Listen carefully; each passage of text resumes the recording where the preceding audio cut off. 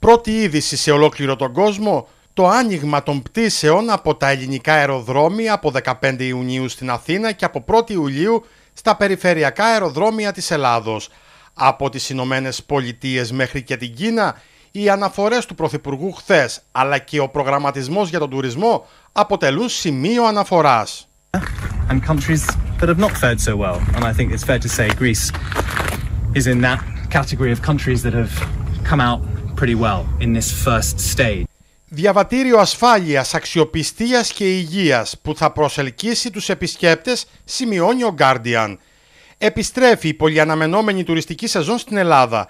Η κυβέρνηση επέβαλε καραντίνα πολύ νωρίς στην Ελλάδα και αυτό πιστώθηκε με χαμηλό αριθμό θανάτων και βαριά ασθενών από τον κορονοϊό, λέει το ABC. Το BBC, η Ελλάδα παράδειγμα διαχείρισης της πανδημίας. Η τουριστική σεζόν θα ξεκινήσει τον επόμενο μήνα στην Ελλάδα με τις απευθείας πτήσεις σε δημοφιλείς προορισμούς να επανεκκινούν από τον Ιούλιο. Θα κάνουμε κάθε προσπάθεια τα δωμάτια να αδειάζουν για δύο ημέρες, δηλαδή για 48 ώρες αφού φύγουν οι επισκέπτες, έτσι ώστε το δωμάτιο να μένει άδειο και να καθαρίζεται και να υπάρχει χρόνος να απομακρύνει οποιοδήποτε ζήτημα στο δωμάτιο. The tourism and travel and hospitality areas. There is no room for discrimination. Το Bloomberg αναφέρει η Ελλάδα ανοίγει την τουριστική σεζόν. Η Le Figaro, το σλόγγαν της Ελλάδας για τον τουρισμό πρώτα η ασφάλεια.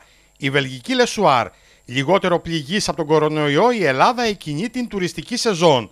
Το πρακτορείο Reuters, η Ελλάδα έτοιμη να υποδεχτεί τουρίστες, γερμανική πρώτη πτήση στο αεροδρόμιο της Αθήνας. Like occupied, no free spots, so that was a bit strange. No food, only some weird uh, pastry, but uh, in general it was a normal flight. Even the boarding was normal, everything was normal. Only this situation after the flight is a bit different, let's say. Η New York Times ξεκινούν οι διεθνείς πτήσεις με φόντο τον ελληνικό τουρισμό. Στις 15 Ιουνίου ανοίγουν και οι πόρτες της Ελλάδας και για τους τουρίστες από το εξωτερικό. Το σχέδιο προβλέπει ότι η αρχή θα γίνει με 19 χώρες που παρουσιάζουν καλά επιδημιολογικά χαρακτηριστικά.